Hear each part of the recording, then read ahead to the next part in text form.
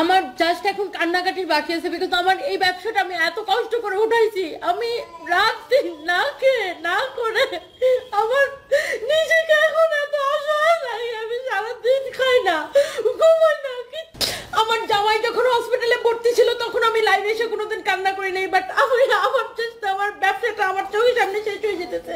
হ্যাঁ রহিম বাদশাহ, এখানে অনেক সুন্দর নাটক চলতেছে বাট তুই নাটক আর দেখতে পারবি না। তোর লাথি দিয়ে এখান থেকে আমি ব্লক করে দিব। গেট আউট তোর একটা লাথি মেরে চাপা দাঁত ফালাই দিব তোর জাত। আমি আস্তে কথা বলব না, জোরে কথা বলব। সেটা তোর থেকে আমি রনি খান যা কথা আমার এসে জ্ঞান দেয়, আস্তে কথা বলো। আমি আস্তে কথা বলব না, জোরে কথা বলব। এটা আমি আমি আমার এটা আমার প্লিজ আমি ডিসিশন নিব। আস্তে কথা বলব না, জোরে কথা বলব। তোর থেকে তো আমি সাজেশন নিব না। আর এরিয়া ম্যানেজারকে জয়েন করছে এতদিন ধরে ওর তো কাজ ছিল এগুলা ফোন দিয়ে দিয়ে দেখা জানা কোন ব্রাঞ্চের মধ্যে কোন কোনগুলা শর্টেজ আছে কোন প্রোডাক্ট আছে কোন প্রোডাক্ট নাই কোন প্রোডাক্টে লাইভ হইতেছে কোন প্রোডাক্ট স্টক আছে আউটলেটের মধ্যে নাই এগুলা কি আমার দেখার কথা তাহলে আমার এত এত স্টাফ রেখে আমার লাভ কি হলো পাগল বানায় ছেড়ে দিতেছে আমারে লিপি মিত্র লিখেছে আপু, কঠিন হাতে হ্যান্ডেল করো, তোমার কর্মীরা এগুলো ভালো না। সেটাই আপু, আমি জাস্ট মানে পাগল হয়ে যেতেছি কালকে রাতে আমি জানেন চারটা পর্যন্ত অফিস করছি। শোনো, জহির, শুনে যাও।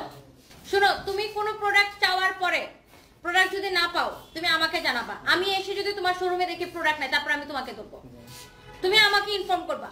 আমি যদি তোমার শোরুমে এইসব প্রোডাক্ট না পাই, আমি তোমাকে ধরবো। নূরজাহান আক্তার, মিনা, আপু, মনে হয় তোমার স্টাফগুলো ইচ্ছা করে তোমার সাথে এগুলো করতেছে, তোমাকে ডাউন করার জন্য।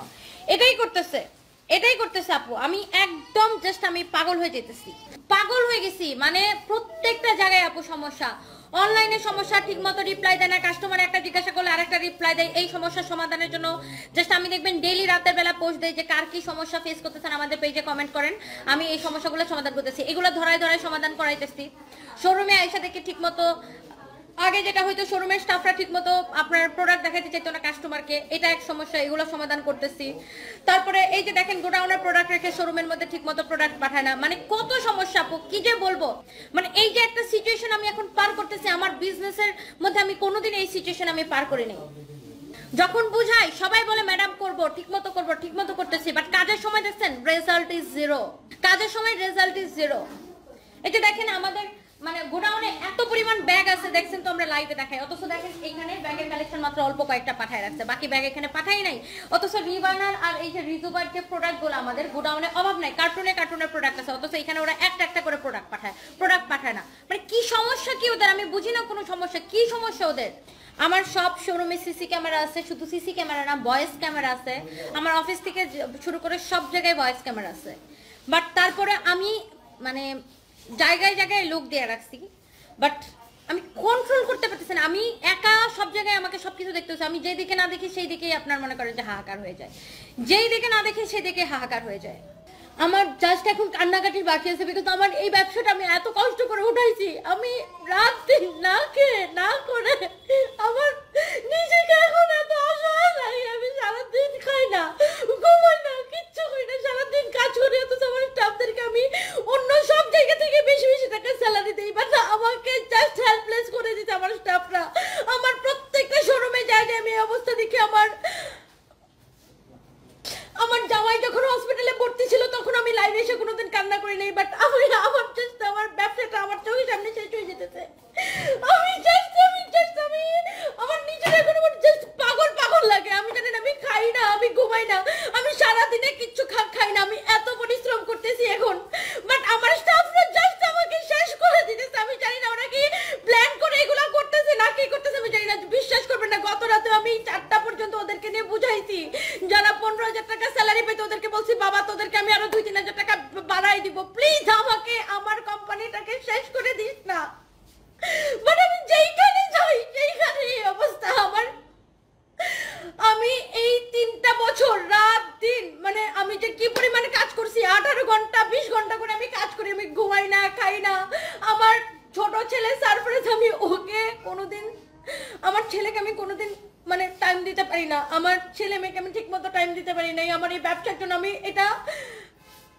আমার ফ্যামিলি থেকে আমি বেশি টাইম এখানে দিয়েছি দিয়ে আমি আমার ব্যবসাটাকে এত বড় করছি, এত কষ্ট করছি আমি যে এইটা শুধুমাত্র আমার ফেস ভ্যালুর উপরে ব্যবসাটা দাঁড়াইছে। বাট আমার স্টাফরা মিলে আমাকে জাস্ট ফিনিশ করে দিতেছে জাস্ট ফিনিশ করে দিতেছে। আমি যেই শোরুমে যাই, আমার এখন আমার বুকটা জাস্ট ফেটে যায়। আজকে আমি আমার ইমোশনটা আমি ধরে রাখতে পারি না বাট আমি কান্নাকাটি করার লোক না। বাট আজকে আমি আমার ইমোশনটা ধরে রাখতে পারি না, আমি জাস্ট হেল্পলেস হয়ে গেছি এখন আমার স্টাফদের কাছে।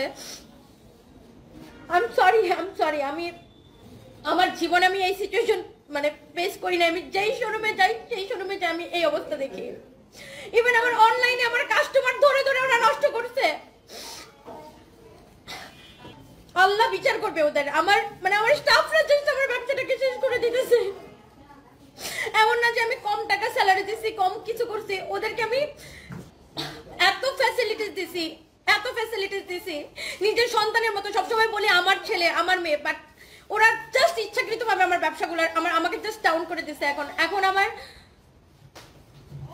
এত হেল্পলেস লাগে নিজের, আমি মানে কি বলব?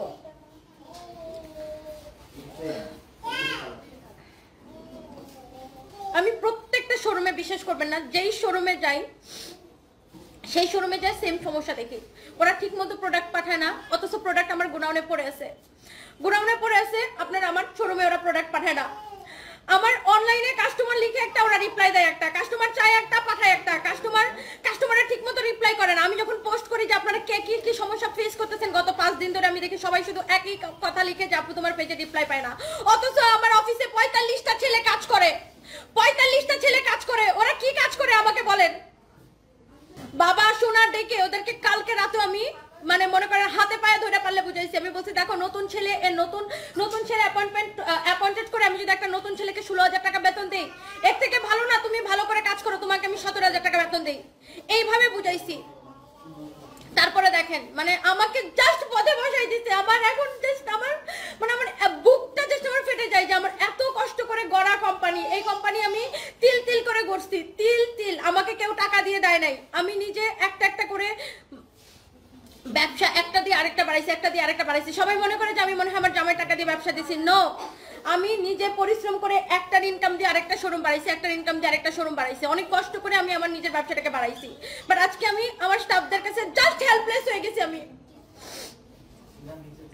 এখন মানে বড় ব্যবসা হলে যে সমস্যাটা হয় কি জানেন? সব জায়গায় এত এত টাকা ইনভেস্ট করে রাখছি, আমার মাস শেষে এত টাকা খরচ, সব এতগুলো শোরুমের ভাড়া, এতগুলো মানে শোরুমের সার্ভিস চার্জ অফিসের ভাড়া সার্ভিস চার্জ এতগুলো স্টাফের বেতন, মাস শেষে আমার এত টাকা খরচ আছে জানেন? মানে আমার রাত হলে রাত জানা, দিন হলে দিন জানা, যে মাস শেষে আমাকে এত টাকা খরচ বিয়ার করতে হবে, এতগুলো মানুষের স্যালারি দিতে হবে, এতগুলো মানুষের দায়িত্ব নিয়ে রাখছি আমি।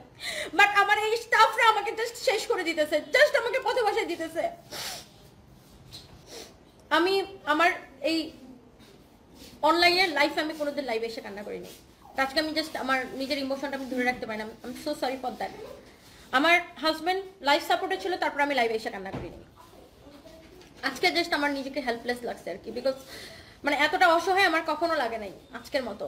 মানে এখনকার মতো আমি বাট আমি মচকা মানে আমি মচকাবো বাট আমি ভাঙবো না। আমি এখান থেকে ঠিক ঘুরে দাঁড়াবো। অবশ্যই স্টাফ বদলাবো, অবশ্যই আমি এখান থেকে ঘুরে দাঁড়াবো। আমার এই সিচুয়েশন আমার থাকবে না। অবশ্যই আমি এই আমি অলরেডি দেখছেন যে নিয়োগ দিচ্ছি বড় করে। সব জায়গায় আমি স্টাফ চেঞ্জ করব। বাট আমি চাইছিলাম যে যারা আছে, তাদেরকে আমি দেখেন, আমার একটা জিনিস কি জানেন, আমি নতুন ছেলে মেয়েদেরকে চাকরি দিতাম। কোনো জায়গায় দেখবেন ফ্রেশ ছেলে মেয়েদেরকে চাকরি দিতে চায় না। আমি ফ্রেশ ছেলে মেয়েদেরকে স্টুডেন্টদেরকে চাকরি দিতাম। চাকরি দিয়ে ওদেরকে আমি ধরে ধরে কাজ শেখাতাম আমি নিজে ধরে ধরে কাজ শেখাতাম আমার, আমি লাস্ট পর্যন্ত আমি মানে নর্মালি আমি কাউকে চাকরি থেকে বের করি না। আমি লাস্ট পর্যন্ত চাই যে ও ঠিক হয়ে যাক, ও কাজ করুক। আমি ওদেরকে হাতে ধরে ধরে কাজ শিখেছি ফ্রেশ ছেলে মেয়েদেরকে ওদেরকে আমি কালকেও বলছি যে, দেখো তোমাদেরকে, তোমরা এখন, তোমরা কিন্তু কেউ কাজ শিখে এখানে আসো নাই। তোমরা এখানে আসার পরে আমি তোমাদেরকে কাজ শিখছি। কাজ শিখাইছি আমি তোমাদেরকে, ধরে ধরে কাজ শিখাইছি। এখন একটা নতুন ছেলে মেয়েদেরকে এনে তাদেরকে বেশি বেতন দিব। তোমরাই কাজ করো না। তোমাদেরকে বেশি আরও আরও স্যালারি বাড়াই দিই। তোমরা ভালো করে কাজ করো না। এমন করে বুঝাইছি, বুঝছেন? আগে আমি সব নতুন ছেলে মেয়েদেরকে চাকরি দিতাম। যারা আগে কোথাও কোনো চাকরি করে নাই ফ্রেশার কোনো লাভ হয় নাই, জানেন? আমি বনানীতে, আমার এখানে স্যালারি স্টার্টিং হয় হয় চোদ্দ হাজার থেকে। তারপরে বনানীতে আমি দুইটা ফ্ল্যাট ভাড়া করে ওদেরকে ফ্রিতে থাকতে দিতাম। ফ্রিতে থাকতে দেওয়ার যে কত মানে ফ্যাসিলিটিস ধরেন মিনিমাম ওদের পাঁচ হাজার টাকা সেভ হইতো ফ্রিতে থাকা। ওদের কারেন্ট বিল থেকে শুরু করে বুয়ার বিল থেকে শুরু করে সব কিছু আমি দিতাম। বাট এইটার জন্য আজকে আমার মানে এই সিচুয়েশনটা আমি ফেস করতেছি। আসলে বেশি দয়ায়, পর স্টাফ কখনো কখনো আপন হয় না। বেশি দয়ায় আমার আজকে এই অবস্থা হয়েছে বাট আমি ভাঙবো না আমি এখান থেকে ঠিক ঘুরে দাঁড়াবো।